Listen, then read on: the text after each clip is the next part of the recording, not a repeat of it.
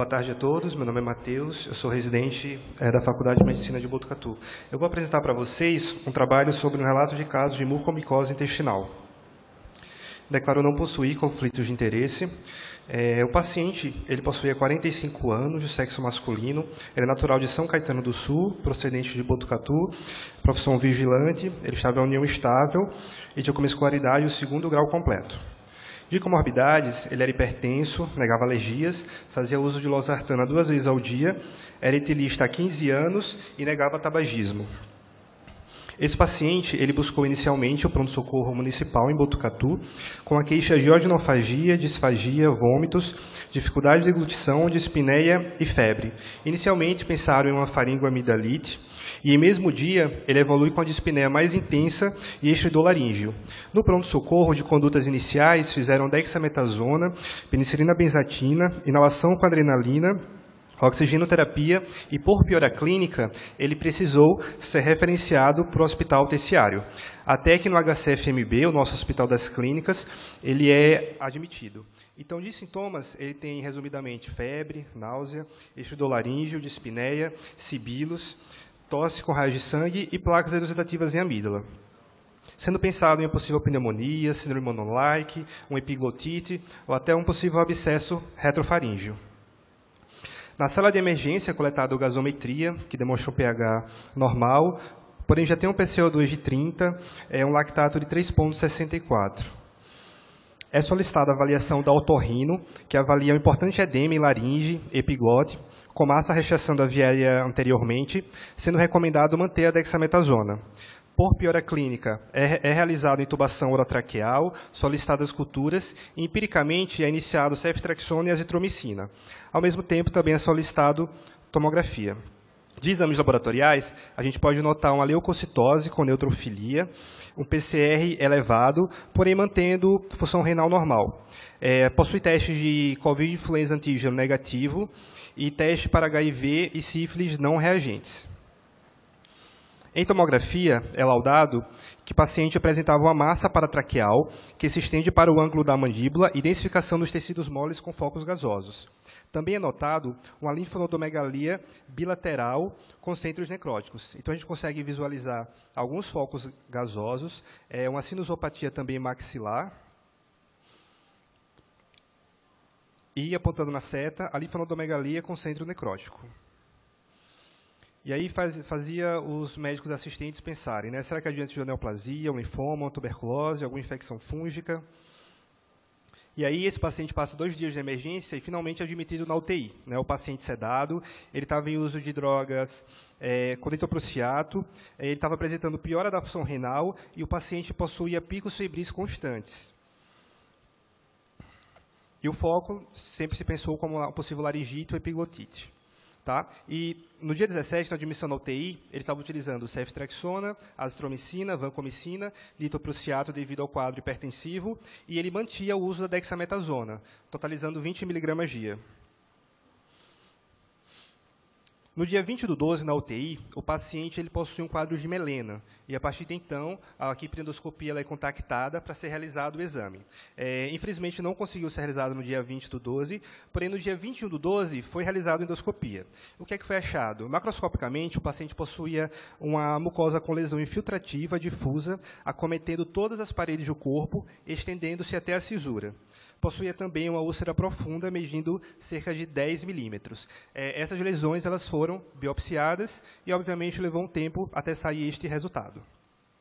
No dia 26 do 12, até esse período, o paciente ele mantém o mesmo quadro clínico, porém ele apresentou um quadro clínico novo de distensão abdominal. Foi discutido um possível quadro de abdômen agudo perfurativo. Ele também apresentava um sangramento em fezes de aspecto gelatinoso, com sangue de coloração vermelho escura. Então, é solicitada uma TC de abdômen para fazer essa avaliação. Na TC de abdômen é detectado gás fora das alças. Foi feito um diagnóstico, então, de pneumo, pneumoperitônio.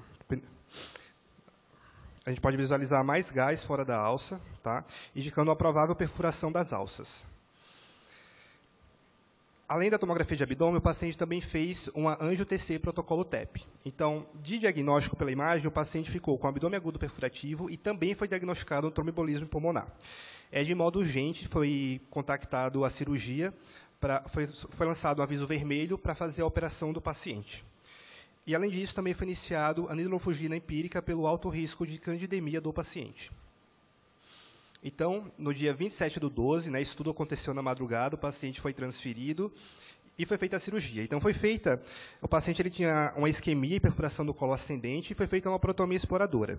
Foi visto uma grande necrose de colo direito, com liquefação do colo direito, uma contaminação fecal grosseira devido a pontos de necrose no colo direito, uma distensão líquido gasosa de todo o delgado, com presença de área de necrose em ilho distal. Foi necessário ressecar 50 centímetros é, do delgado. No transverso, o colo esquerdo sigmoide apresentavam áreas que deixavam em dúvida sobre a possível evolução para necrose. E aí, para controle de danos, eles iam ser reabordado 48 horas após. No dia 27 do 12, o paciente, no mesmo dia, em período noturno, ele precisa entrar em hemodiálise devido à piora da insuficiência renal aguda. No dia 29 do 12, só para a gente atualizar, é, devido à piora do paciente em hemodiálise, necessidade de aumento de droga vasoativa, foi associado esquemas antimicrobianos para melhor cobertura empírica, com amicacina, polimixina, a vanco mantida e mantida nidolofugina. O paciente estava em uso de droga vasoativa em ascensão, o paciente ele mantinha febre persistente, mesmo ao uso de antibiótico terapias de amplo espectro, e agora a dexametasona começa a ser reduzida. E foi liberado o AP do estômago. É, no AP, esse AP é do intestino, mas é, os dois acabaram tendo o mesmo resultado, que foi o encontro é, da mucormicose, né, caracterizada pelas, por essas hifas largas septadas, como a gente pode ver no quadro A, é, e também na lesão macroscópica, a gente consegue ver as é, lesões de parede necrose na parede intestinal. Tá? No dia 30 do 12, é, ou seja, lá, já no outro dia, após o AP, o AP saiu bem no final da tarde, foi iniciado a anfotericina B desoxicolato, iria ser preparadas as solicitações para fazer a anfolipossomal, fazer tratamento combinado, mas o paciente ele apresenta o quadro de acidose, hipercalemia refratários a medidas clínicas, ele acabou não tolerando hemodiálise. E no dia 30 do 12, ele acabou evoluindo para óbito. Obrigado. É sobre isso.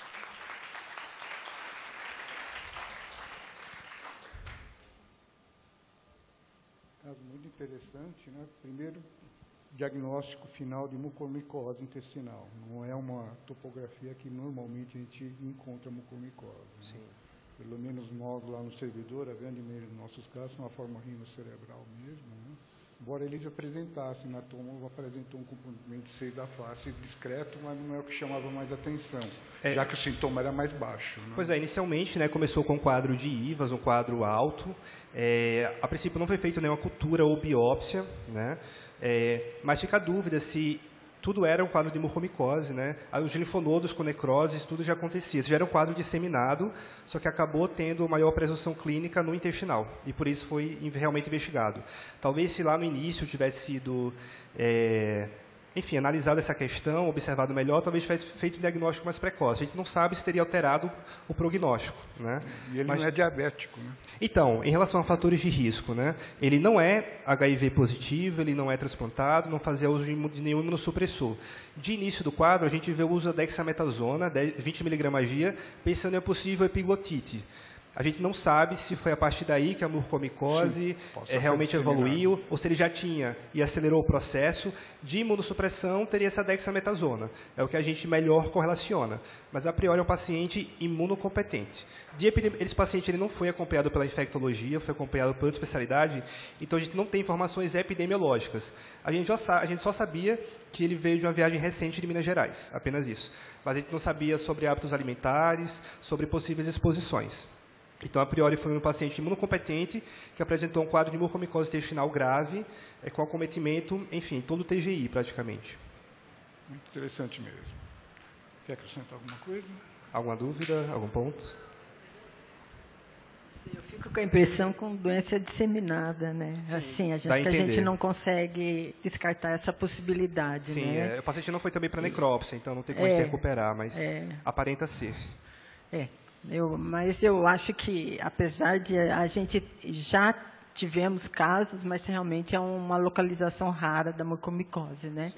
Mas com eles achados de eh, vias aéreas superiores com sintomatologia, a gente tem Sim. que pensar ou algo que não foi feito diagnóstico, uma neoplasia ou, ou alguma coisa que já iniciou ali, né? Sim, eu não cheguei a, a colocar, mas a hemocultura já não teve nenhum crescimento, tá? Não houve nenhum isolamento, foi realmente por AP o diagnóstico.